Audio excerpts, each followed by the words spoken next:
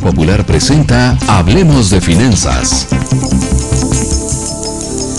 Vamos a hablar sobre el estado de cuenta.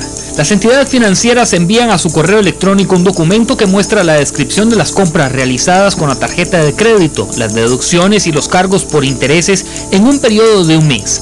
Este estado de cuenta le permite tener un mayor control sobre sus gastos y le ayuda a organizarse financieramente.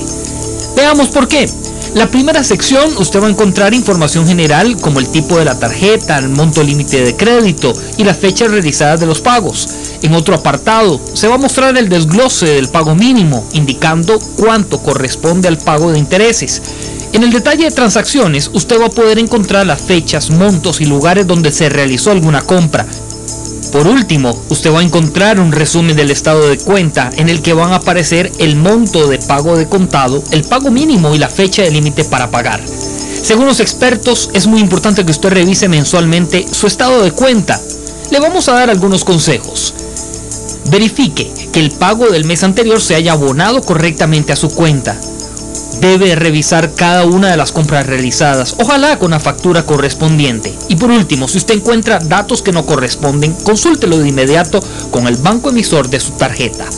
Aplique estos consejos útiles y muy prácticos. El Banco Popular presentó Hablemos de Finanzas.